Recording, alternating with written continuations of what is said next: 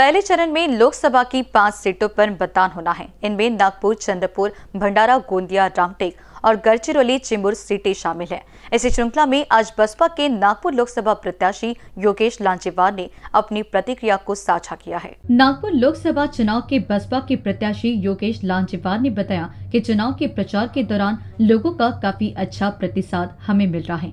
साथ ही वे बोले कि चुनाव प्रचार में हम सबसे पहले सभी पार्टी के प्रतिष्ठित नागरिक सामाजिक कार्यकर्ता रिपब्लिकन पार्टी के स्थानीय नेता, समता सैनिक दल, मुस्लिम समाज के मौलाना और अन्य समाज के बड़े बुज़ुर्ग लोगों से मिले। गनी बस्तियों में पैदल मार्च निकाली, मोटरसाइकिल रैली निकाली गई। नुक्कड़ मीटिंग के माध्यम से हम समाज को बता रहे हैं कि ये हाथी ही सबका साथ देगा। मैडम, चुनाव प्रचार तो हमारा जब फॉर्म भरे थे, उसके दूसरे दिन से स्टार्ट हो गया था। सबसे पहले फ़ेज़ में हम लोगों ने जो हमारे नागपुर शहर के सब समाज के प्रतिष्ठित नागरिक सामाजिक कार्यकर्ता रिपब्लिकन पार्टी के स्थानीय नेता, समता सैनिक दल, मुस्लिम समाज के मौलाना और अन्य सभी समाज के ऐसे जो बड़े बुज़ुर्ग हैं, उन लोगों को सबसे पहले हम दो तीन दिन उन्हीं लोगों से मिले और उन लोगों को बताया कि हम चुनाव में खड़े हैं और समाज के लोगों ने साथ देना चाहिए। उसके लिए हम लोगों ने सबसे पहले उन लोगों से मुलाकात किए फिर उसके बाद में हम लोगों ने पूरे नागपुर शहर की जो छः विधानसभा है, वो छः विधानसभा हमने पैदल मार्च निकाला। पैदल मार्च मीन्स जो घनी बस्तियाँ है, उन घनी बस्तियों में मेरे सारे कार्यकर्ता साउंड के साथ में, ढोल ताशे के साथ में, झंडे और हमारे सारे ये गले के जो ये है, नीले झंडे, वो सब लेकर हम गली बस्ती में सबको हाथ जोड़ते हुए सभी के दरवाजे पर गए। पहली बार जनता ने बोला कि खासदार के इलेक्शन में जो खड़ा है, बहुजन समाज पार्टी का प्रत्याशी, ये घर तक आया है। बाकी तो सिर्फ़ रोड से हाथ दिखाकर चले जा रहे उनका भी हमें बहुत अच्छा रिस्पांस और बहुत अच्छा ये मिला, साथ मिला। उसके बाद में अभी हम लोगों ने ये जो मोटरसाइकिल रैली है, ये मोटरसाइकिल रैली हमारी अभी सभी विधानसभाओं में चल रही है।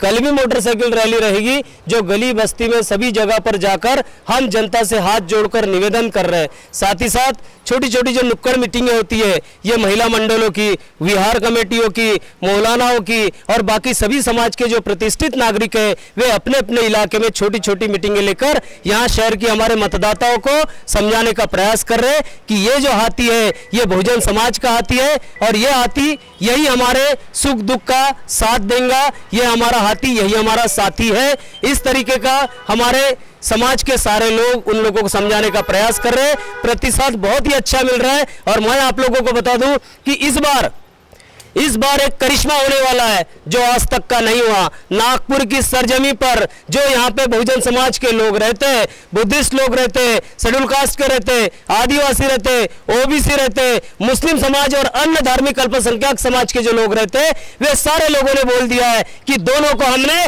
देख लिए बीजेपी को देख लिए, कांग्रेस को देख लिए, सबका राजपाट देख लिए। पिछले पचहत्तर सालों से इन लोगों ने नागपुर शहर की जनता के साथ में धोखेबाजी की है।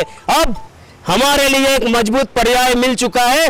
बहुजन समाज पार्टी के हाथी पर योगेश लांजवार जैसा एक कद्दावर कार्यकर्ता खड़ा है, जो ज़मीन से जुड़ा हुआ है और ये हमारे सुख सुविधा और हमारे सारे अधिकारों की रक्षा करेगा, संविधान की रक्षा करेगा। इसी को हमको संसद में भेजना है। ऐसी सारी जनता हमको अभी फीडबैक दे रही है और वहीं से हमको हवा आ रही है। हम भारी बहुमतों से जीतने जा रहे हैं।